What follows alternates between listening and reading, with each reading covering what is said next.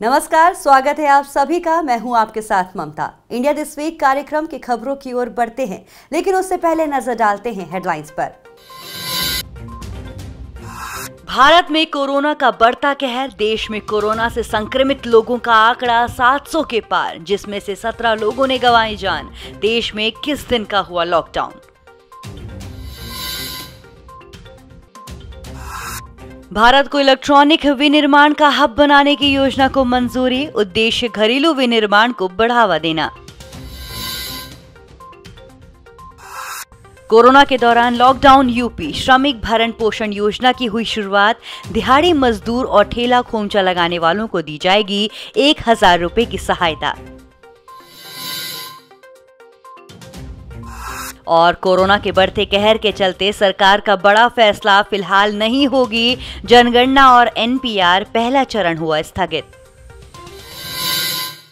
Corona virus के बढ़ते कहर और संक्रमित मामलों को देखते हुए 22 मार्च को पूरे देश में प्रधानमंत्री द्वारा जनता कर्फ्यू का आह्वान किया गया था, जहाँ पूरे देश ने इसका समर्थन किया। वहीं चूँकि कोरोना का कहर थमने का नाम नहीं ले रहा है और सोशल डिस्टेंसिंग ही इससे बचाव है, इसको देखते हुए कोरोना वायरस के फैलने की सीरीज़ को तोड़ने के लिए 24 मार्च 2020 को रात 12 बजे से पूरे देश में संपूर्ण लॉकडाउन कर दिया गया। ये लॉकडाउन 21 दिन तक रहेगा, जो 14 अप्रैल तक होगा। लॉकडाउन में कौन सी दुकानें खुलेंगी? लॉकडाउन में केमिस्ट की शॉप मेडिकल इक्विपमेंट की दुकानें, लैब और राशन की दुकानें खुली रहेंगी।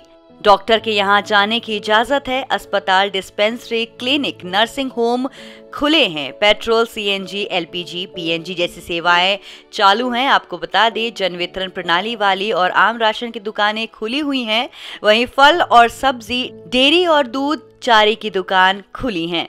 वहीं प्राइवेट गाड़ियों के संचालन की इजाज़त भी बेहद ज़रूरी हालात में होगी। लोगों को केवल मेडिकल ज़रूरत के लिए राशन, दवा, दूध और सब्ज़ी खरीदने जाने की इजाज़त होगी।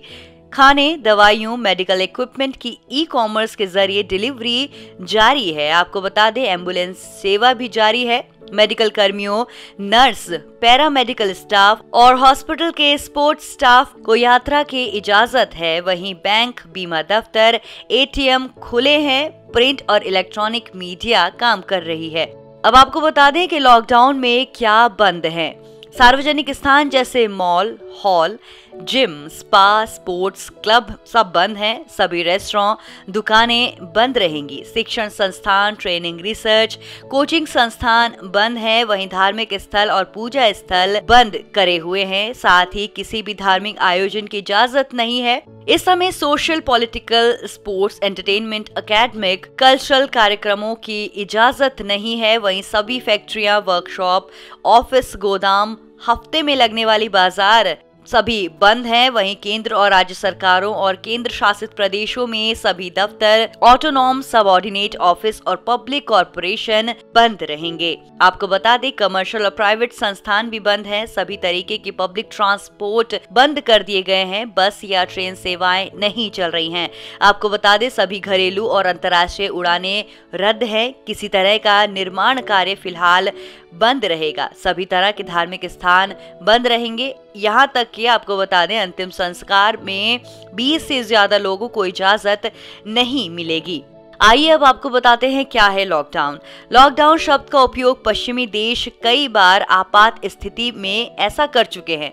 भारत में लोगों को घरों में रखने के लिए कर्फ्यू या धारा 144 जैसे कानून का सहारा लेते आ रहे हैं. लॉकडाउन का इस्तेमाल भारत में पहली बार हो रहा है. इसका अर्थ ये है कि ज़रूरी सेवाओं को छोड़कर सब कुछ बंद रहेगा. इस दौरान सिर्फ़ ज़रूरी या आपात स्थिति होने पर ही आपको घर से बाहर निकलने की अनुमति है। घरों से बाहर निकलने पर पूरी तरह पाबंदी लगाई जा रही है। और आपको एक बार फिर से बता दें कि लॉकडाउन की स्थिति में इसको फॉलो करना बेहद ही ज़रूरी है, क्योंकि यही एकमात्र ऐसा रास्ता है जो कोरोना वायरस से हमको बचा सकता है। केंद्रीय मंत्रिमंडल ने हाल ही में संशोधित इलेक्ट्रॉनिक्स विनिर्माण क्लस्टर योजना को मंजूरी प्रदान की। इसका उद्देश्य इलेक्ट्रॉनिक विनिर्माण क्लस्टर के ज़रिए साझा सुविधाओं के साथ विश्व स्तरीय बुनियादी ढांचे का विकास करना है। सरकार ने इसके लिए संशोधित इलेक्ट्रॉनिक्स विनिर्माण क्लस्टर योजना को वित्तीय सहायता की मंजूरी दे दी है। आपको बता दें, केंद्रीय मंत्री रविशंकर प्रसाद द्वारा जारी एक बयान में कहा गया है कि सरकार ने व्यापक स्तर पर इलेक्ट्रॉनिक्स विनिर्माण के लिए उत्पादन प्रोत्साहन योजना को भी स्वीकृति दी है। आइए आपको बताते हैं इस योजना का उद्देश्य। इस योजना का उद्देश्य घरेलू विनिर्माण को बढ़ावा देना और मोबाइल फ़ोन विनिर्माण और विशिष्ट इलेक्ट्रॉनिक उपकरणों में बड़े निवेश को आकर्षित करने के लिए प्रोत्साहन देना है। ये प्रोत्साहन राशि उत्पादन से जुड़ी होगी। इस योजना के तहत सरकार द्वारा भारत में मोबाइल और संबंधित उपकरणों के विनिर्माण पर बल दिया जाएगा। आपको बता दें, केंद्र सरकार द्वारा इस क्षेत्र में 20 लाख करोड़ रुपए का निवेश किया जाएगा, जिसके परिणाम स्वरूप अगले पाँच वर्षों में 25 लाख लोगों को रोज़गार मिलेगा। आइए इससे होने वाले लाभों के बारे में आपको बताएँ। ये उम्मीद जताई जा रही है कि इससे 2025 तक 10 लाख करोड़ रुपए का रेवेन्यू पैदा होगा। आपको बता दें, मोबाइल मैन्युफैक्चरिंग को बढ़ावा देने के साथ ही कैबिनेट ने इलेक्ट्रॉनिक्स कंपोनेंट और सेमी कंडक्टर के निर्माण को प्रोत्साहन देने के लिए तीन हज़ार दो सौ पचासी करोड़ रुपए का पैकेज मंजूर किया है। ये स्कीम पूंजीगत खर्चों पर 25 फ़ीसदी का फाइनेंशियल इंसेंटिव देगी। इस स्कीम से 6 लाख प्रत्यक्ष और अप्रत्यक्ष रोज़गार पैदा होगा। आपको बता दें इलेक्ट्रॉनिक्स मैन्युफैक्चरिंग क्लस्टर के लिए कैबिनेट ने तीन हज़ार सात सौ बासठ करोड़ रुपए का बजट मंजूर किया है। ये राशि अगले आठ साल में खर्च की जाएगी। ये स्कीम प्रोजेक्ट लागत की 50 फ़ीसदी तक वित्तीय मदद देगी। वहीं इस योजना के साथ अन्य योजनाओं को मंजूरी भी दी गई। इसके अतिरिक्त केंद्रीय मंत्रिमंडल ने तीन थोक औषध पार्कों में साझा विनिर्माण सुविधाओं को वित्तीय सहायता उपलब्ध कराने के लिए थोक औषध पार्क प्रोत्साहन योजना को भी मंजूरी दी है। इसके तहत अगले पाँच वर्षों में तीन हज़ार करोड़ रुपए का आवंटन किया जाएगा। आपको बता दें, थोक औषध पार्क योजना से देश में थोक में औषधियों के निर्माण की लागत कम होने और अन्य देशों पर निर्भरता घटने की संभावना जताई गई है। देश में महत्वपूर्ण आरंभिक सामग्री औषधीय तत्वों और एक्टिव फार्मास्यूटिकल इंग्रेडिएंट के घरेलू विनिर्माण को बढ़ावा देने के लिए उत्पादन से जुड़ी प्रोत्साहन योजना को भी मंजूरी दे दी गई है। इस योजना के लिए अगले आठ वर्ष में 6,940 करोड़ रुपए का आवंटन किया जाएगा। आपको बता दें, मंत्रिमंडल ने राष्ट्रीय आयुष मिशन में आयुष स्वास्थ्य और वेलनेस केंद्रों में आयुष्मान भारत के दायरे में लाने की भी मंजूरी दी है। इसका उद्देश्य दूसरे और तीसरे स्तर के स्वास्थ्य देखभाल केंद्रों पर बोझ कम करना है। उत्तर प्रदेश में ऐसे लोगों की मदद करने के लिए मुख्यमंत्री योगी आदित्यनाथ ने श्रमिक भरण पोषण योजना की शुरुआत की है। इस योजना के तहत ग्रामीण और शहरी क्षेत्रों में रहने वाले दिहाड़ी मजदूरों और ठेला खोमचा लगाने वाले लोगों को बंद के दौरान एक हज़ार रूपए की सहायता मुहैया कराई जाएगी। इसके अलावा जो लोग इससे वंचित रह जाएँगे और किसी भी योजना का लाभ नहीं पा रहे हैं, उन्हें भी एक हज़ार रूपए की सहायता राशि उपलब्ध कराई जाएगी। इसके लिए सभी जिलाधिकारियों को निर्देशित कर दिया गया है और सभी जनपदों को पर्याप्त धनराशि भेजी जा चुकी है। मुख्यमंत्री योगी आदित्यनाथ के मुताबिक अंत्योदय राशन कार्ड धारक, निराश्रित वृद्धावस्था पेंशन पाने वाले, दिव्यांगजन पेंशन भोगी निर्माण श्रमिक और प्रतिदिन कमाने वाले श्रमिकों को सरकार निशुल्क राशन उपलब्ध करा रही है। इसके तहत 20 किलो गेहूँ और 15 किलो चावल की व्यवस्था की गई है। उत्तर प्रदेश के अंदर घुमंतु जैसे ठेला, खोमचा रेड़ी और रिक्शा चलाने, साप्ताहिक बाज़ार के दुकानदारों को मिलाकर लगभग करीब 15 लाख लोग हैं। इनके लिए भी राज्य सरकार एक हज़ार रूपए की राशि भरण पोषण के लिए तत्काल रूप से देगी। ये राशि प्रत्यक्ष हस्तांतरित लाभ के ज़रिए उनके खाते में भी सीधे भेजी जाएगी। इनका डेटाबेस नगर विकास द्वारा अगले पंद्रह दिनों में तैयार किया जाएगा। इस योजना की वजह से राज्य सरकार पर करीब डेढ़ सौ करोड़ रुपए आर्थिक बोझ आने की संभावना है। इसके अलावा मुख्यमंत्री ने मनरेगा के मजदूरों को तुरंत मजदूरी का भुगतान करने का निर्देश दिया है। केंद्र सरकार द्वारा इसके लिए करीब पाँच सौ छप्पन करोड़ रुपए की धनराशि का भुगतान मार्च 2020 में ही किया जाएगा। इसी के साथ अंत्योदय योजना मनरेगा और श्रम विभाग में पंजीकृत निर्माण श्रमिक एवं दिहाड़ी मजदूरों को एक महीने का निशुल्क राशन अप्रैल में उपलब्ध करवाए जाने के निर्देश दिए गए हैं। इस पर करीब चौसठ करोड़ पचास लाख का खर्च आएगा। ये अनाज पीडीएस दुकानों के माध्यम से बांटा जाएगा। कोरोना वायरस के चलते राज्य में बंदी है, जिसकी वजह से सारे काम धंधे सब बंद पड़े हैं। सारे मजदूरों को लौटा दिया गया है। अब इन मजदूरों की रोजी रोटी बंद होने की वजह से खाने के लाले पड़े हैं। गौरतलब है कि मुख्यमंत्री योगी आदित्यनाथ ने दिहाड़ी मजदूरों की रोजी रोटी पर कोरोना के असर की पड़ताल के लिए वित्त मंत्री सुरेश खन्ना की अगुवाई में एक समिति का गठन किया था। इस कमेटी की रिपोर्ट को देखते हुए राज्य सरकार ने दिहाड़ी मजदूरों के लिए भरण पोषण के भत्ते की मंजूरी दी है। इस योजना के कार्यान्वयन के लिए जिलाधिकारी द्वारा ग्रामीण क्षेत्रों में खंड विकास अधिकारी व ग्राम पंचायत अधिकारी की समिति बनाई गई है नगरीय क्षेत्रों में उप जिलाधिकारी व नगर मजिस्ट्रेट की ओर संबंधित नगर निकायों के आयुक्त व अधिशासी अधिकारी की समितियाँ बनाई गई हैं। इन समितियों की संस्तुति पर एक हज़ार रूपए हर महीने की मदद इन लोगों के खाते में पहुंचाई जाएगी केंद्र सरकार ने कोरोना वायरस के बढ़ते मामलों को देखते हुए 25 मार्च 2020 को बड़ा फैसला लिया। केंद्र सरकार ने कोरोना वायरस के कारण उत्पन्न महामारी की स्थिति को देखते हुए जनगणना 2021 के पहले चरण और राष्ट्रीय जनसंख्या रजिस्टर को अपडेट करने के कार्य को अगले आदेश तक स्थगित कर दिया है। आपको बता दें, गृह मंत्रालय की ओर से 25 मार्च 2020 को इस बात की पुष्टि की गई है। एनपीआर को लेकर कई महीनों से देश में विरोध प्रदर्शन चल रहा था। हालाँकि कोरोना वायरस के खतरे को देखते हुए लॉकडाउन के बाद प्रदर्शनकारियों को हटा दिया गया। वहीं आपको बता दें, प्रदर्शनकारियों का मानना था कि ये उनकी नागरिकता अधिकार का हनन है और इससे वो देश में रहते हुए भी विदेशी घोषित कर दिए जाएँगे। सरकार ने कई अवसरों पर ये बताया कि इससे किसी नागरिक को घबराने की आवश्यकता नहीं है, ये केवल जनगणना की एक प्रक्रिया है। सरकार ने कहा कि एनपीआर ऑनलाइन माध्यम से होगा, जिससे देश में होने वाली साल 2021 की जनगणना में नागरिक अपना नाम दर्ज करा सकते हैं। आपको बता दें, एनपीआर की प्रक्रिया 1 अप्रैल 2020 से शुरू होने वाली थी। जहाँ एनपीआर हाउस लिस्टिंग और जनगणना 2021 का काम 1 अप्रैल से 30 सितंबर के बीच होना था। वहीं गृह मंत्रालय की स्टैंडिंग कमेटी ने मार्च 2020 में डिमांड फॉर ग्रांट्स 2020-21 की रिपोर्ट राज्यसभा में रखी थी। इस कमेटी की अध्यक्षता कांग्रेस सांसद आनंद शर्मा कर रहे थे। रिपोर्ट में कहा गया है कि एनपीआर फॉर्म 2020 में माता पिता के जन्म स्थान और उनकी जन्मतिथि को लेकर सवाल पूछे गए हैं। जिस पर सरकार का तर्क था कि इससे बैक एंड डेटा प्रोसेसिंग और मज़बूत होगा। गौरतलब है कि कई राज्यों में एनपीआर को लेकर आपत्ति ज़ाहिर की गई।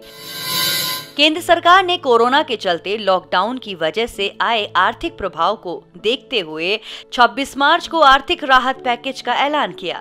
इसका ऐलान करते हुए वित्त मंत्री निर्मला सीतारमण ने आर्थिक पैकेज में कुछ खास पेशकश की। वित्त मंत्री ने लॉकडाउन के मद्देनजर सीधे सीधे प्रभावित गरीब और दिहाड़ी मजदूरों और गाँवों में रहने वाले लोगों के लिए एक दशमलव सात लाख करोड़ के राहत पैकेज की घोषणा की। साथ ही वित्त मंत्री ने निर्माण क्षेत्र से जुड़े तीन करोड़ पाँच लाख मजदूरों के लिए इकतीस हज़ार करोड़ रुपए के फंड के सदुपयोग के लिए राज्य सरकारों को निर्देश दिए। राज्य सरकारों को कोरोना वायरस के खिलाफ जारी जंग को जारी रखने के लिए मेडिकल टेस्ट, स्क्रीनिंग और अन्य जरूरतों के लिए डिस्ट्रिक्ट मिनरल फंड का उपयोग करने की आज़ादी रहेगी। वित्त मंत्री ने कहा कि कोरोना वायरस की रोकथाम के लिए भी इस कोष का इस्तेमाल किया जाएगा। इसके अलावा ऐसी कंपनियाँ जिनमें 100 से कम कर्मचारी काम करते हैं और जिनमें 90 फ़ीसद कर्मचारियों का वेतन पंद्रह हज़ार रूपए ऐसी कम है, उनके कर्मचारियों के ई पी एफ़ ओ खाते में सरकार अगले तीन महीने तक कर्मचारी और कंपनी की तरफ़ से पैसे जमा करेगी। सरकार दोनों की तरफ़ से 12-12 प्रतिशत का योगदान करेगी। इस कदम से तकरीबन 80 लाख से ज़्यादा मजदूरों को फ़ायदा होगा।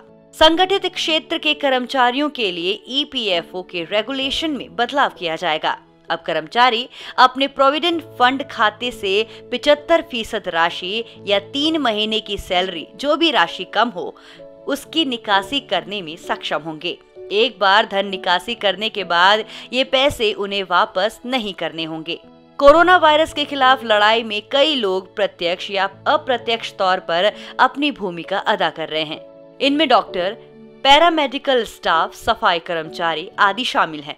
ऐसे लोगों को राहत देने के मकसद से सरकार ने इन लोगों के लिए 50 लाख के बीमा कवर की घोषणा की है। लॉकडाउन के दौरान राशन की समस्या से जूझ रहे 80 करोड़ गरीबों और दिहाड़ी मजदूरों को प्रधानमंत्री गरीब कल्याण अन्न योजना के तहत खाद्य राहत दी जाएगी। ऐसे लोगों को पाँच किलो गेहूँ या चावल पहले से मिल रहा था। नए ऐलान में अब सरकार ऐसे लोगों को पाँच किलोग्राम राशन अगले तीन महीने तक मुफ़्त में देगी। ऐसे लोगों को अब अपनी पसंद की एक किलो दाल हर महीने मुफ़्त बांटी जाएगी। सरकार का लक्ष्य है कि कोई भी नागरिक भूखा नहीं रहेगा। हर एक नागरिक को खाने के लिए राशन मुहैया कराया जाएगा। वित्त मंत्री सीतारमण ने अपने पैकेज में किसानों को भी राहत दी है। किसानों को पीएम किसान सम्मान निधि योजना के तहत छह हज़ार रूपए दिए जाते हैं। नई घोषणा में उन्हें दो हज़ार रूपए सीधे तौर पर दिए जाएँगे।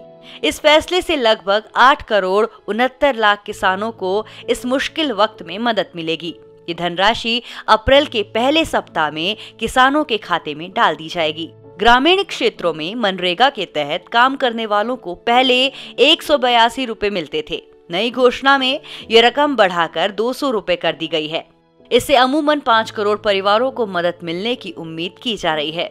गरीब, वरिष्ठ नागरिकों, विधवाओं और दिव्यांगों को भी नई घोषणा में फ़ायदा पहुँचाया गया है। ऐसे लोगों के खाते में तीन महीने तक एक हज़ार रूपए प्रत्यक्ष हस्तांतरित लाभ या डीबीटी के ज़रिए भेजे जाएँगे। जो महिलाएँ जन धन योजना के तहत खाता धारक हैं, ऐसी महिलाओं के खाते में पाँच सौ रूपए की राशि डीबीटी के ज़रिए भेजी जाएगी। इससे लगभग 20 करोड़ महिलाओं को फ़ायदा मिलेगा। वित्त मंत्री ने सबका साथ, सबका विकास के मद्देनजर 8 करोड़ से ज़्यादा गरीबी रेखा से नीचे आने वाली महिलाओं को खुशखबरी दी है। उज्ज्वला योजना के तहत इस मुश्किल वक्त में ऐसी महिलाओं को तीन महीने तक एलपीजी सिलेंडर मुफ़्त में दिया जाएगा। अपनी घोषणा में वित्त मंत्री ने तिरसठ लाख स्वयं सहायता समूह को 20 लाख रुपए तक का कर्ज देने की बात कही है। इन समूहों को ये कर्ज बिना किसी कोलेट्रल के दिया जाएगा। इससे स्वयं सहायता समूह से जुड़े करीब सात करोड़ परिवारों को इसका लाभ मिलेगा। पहले ऐसे कर्ज की सीमा दस लाख रुपए थी। आपको बता दें कि वित्त मंत्री निर्मला सीतारमण ने 24 मार्च को आयकर और जीएसटी रिटर्न दाखिल करने की समय सीमा बढ़ा दी थी। 2018-19 के लिए आयकर रिटर्न दाखिल करने की अंतिम तिथि और पैन से आधार को जोड़ने के लिए आखिरी तारीख को तीन महीने बढ़ाकर अब 30 जून कर दिया गया है। इसके अलावा जीएसटी सालाना रिटर्न दाखिल करने की आखिरी तारीख को भी 31 मार्च से बढ़ाकर जून के अंतिम सप्ताह तक कर दिया गया है। कोरोना के खिलाफ केंद्र सरकार की इस मुहिम में इन आर्थिक सहूलियतों से एक नया बदलाव आने की उम्मीद की जा रही है। कोरोना के खिलाफ चलने वाली ये जंग कितनी लंबी होगी, ये कहना अभी मुश्किल है। लेकिन इस ऐलान से सरकार ने समाज के हर नागरिक और खासकर पिछड़े तबके के लोगों में एक नई उम्मीद की किरण जगाई है। चलिए अब फटाफट नज़र डालते हैं इंडिया दिस वीक की खास सेगमेंट राउंड अप पर। 24 मार्च को मनाया गया विश्व तपेदिक दिवस। विश्व भर में प्रत्येक वर्ष 24 मार्च को तपेदिक दिवस या टीवी दिवस मनाया जाता है। आपको बता दें, इस दिन बीमारी के बैक्टीरिया की पहचान हुई थी। डॉक्टर रोबर्ट कोच ने 24 मार्च अठारह सौ बयासी को यह ऐलान किया था कि उन्होंने माइक्रोबैक्टीरिया ट्यूबरक्लोसिस का पता लगा लिया है, जो इंसानों में तपेदिक की बीमारी के लिए जिम्मेदार है। यही वजह है कि दुनिया भर में 24 मार्च को विश्व तपेदिक दिवस के तौर पर मनाया जाता है। जुलाई 2020 में किया जाएगा भारत की पहली हाइपर लूप प्रतियोगिता का आयोजन।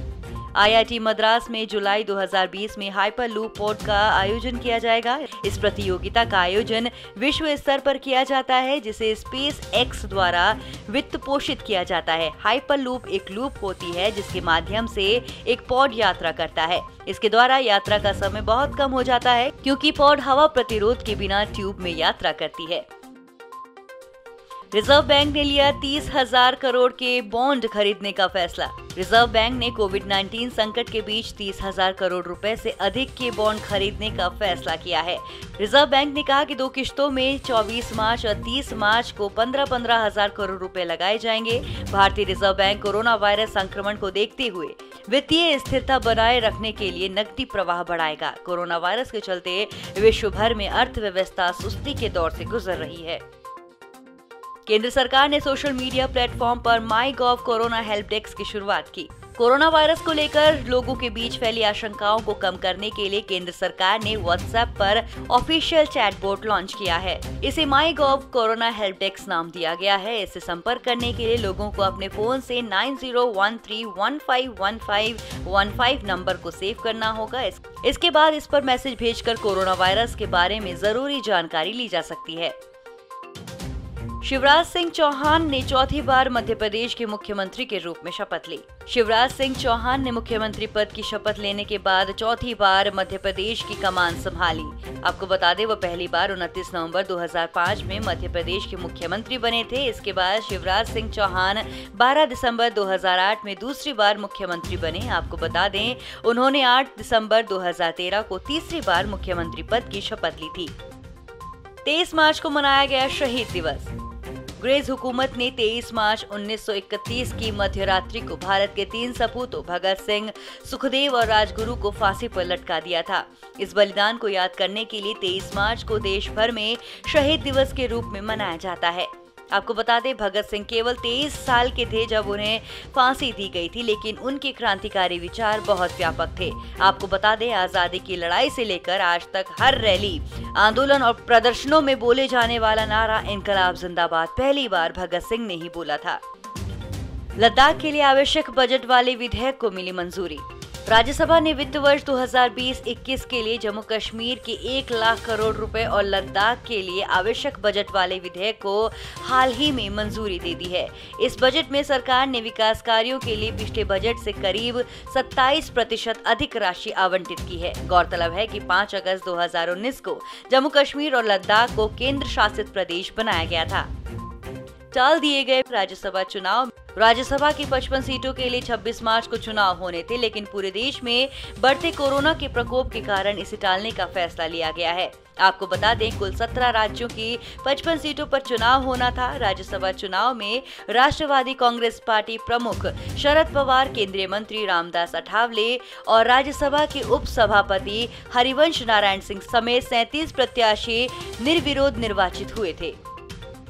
खेलों को बढ़ावा देने के लिए माताओं के सहयोग से सामाजिक नवाचार की हुई शुरुआत। हरियाणा सरकार के द्वारा सामाजिक नवाचार की शुरुआत की गई। आपको बता दें, नवाचारों के तहत युवा माताओं की सहायता लेने की योजना है, ताकि उनके बच्चों को हर प्रकार की खेल गतिविधियों के लिए प्रोत्साहित किया जा सके। इस सामाजिक नवाचार को नई दिशा प्रदान करने हेतु खेल, महिला और बाल विकास सहित सात विभाग कार्य कर रहे हैं। सरकार जल्द ही mothers for sports and fitness नामक एक ऐप भी लॉन्च करेगी। मनाया गया अंतर्राष्ट्रीय वन दिवस। हाल ही में 21 मार्च 2020 को अंतर्राष्ट्रीय वन दिवस मनाया गया। इसमें मैंग्रोव वनों के महत्व को स्वीकार कर तत्काल संरक्षण की आवश्यकता पर बल दिया गया। आपको बता दें, वन दिवस वर्ष 2020 का विषय वन और जैव विविधता, यानी फॉरेस्ट एंड बायोडाइवर्सिटी है। ये दिवस पर्यावरणीय स्थिरता और खाद्य सुरक्षा में वनों के महत्व और महत्वपूर्ण भूमिका के बारे में जागरूकता बढ़ाने के लिए प्रतिवर्ष 21 मार्च को अंतर्राष्ट्रीय वन दिवस मनाया जाता है। युक्त राष्ट्र महासभा 21 दिसंबर 2012 को वनों और जंगलों के पेड़ के सभी प्रकार के महत्व के बारे में जागरूकता बढ़ाने के लिए 21 मार्च को वैश्विक उत्सव के रूप में मनाया गया। तो ये थी इस हफ़्ते की तमाम खबरें। अगले हफ़्ते आपसे फिर मुलाकात होगी। तब तक के लिए मुझे दीजिए इजाज़त। नमस्कार।